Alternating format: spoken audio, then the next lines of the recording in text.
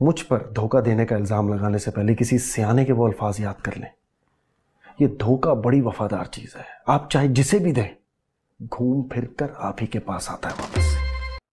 शरीफ लोग कचरा घरों में सजा कर नहीं रखते, बाहर फेंकते हैं।